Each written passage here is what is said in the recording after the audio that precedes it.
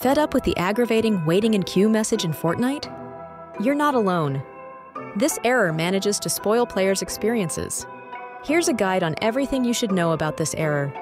Sometimes, an issue like the waiting in queues error can separate you and your friends from having a good time in Fortnite.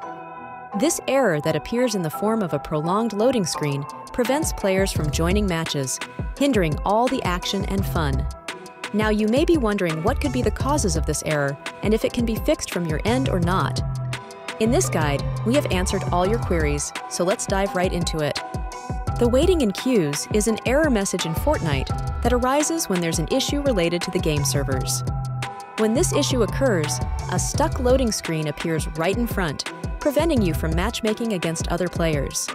One of the most probable causes of getting the waiting in queues error in Fortnite is when the servers are under maintenance. This happens when the servers go offline for a new update, server problems, or patch to go live. Another reason that may take place for this error to occur is when the internet connection between your device and the game servers time out. Slow internet speeds and frequent packet loss are the main culprits when it happens from your end. Peak hours can be a nuisance as the servers are restricted to a limited capacity of allowing players.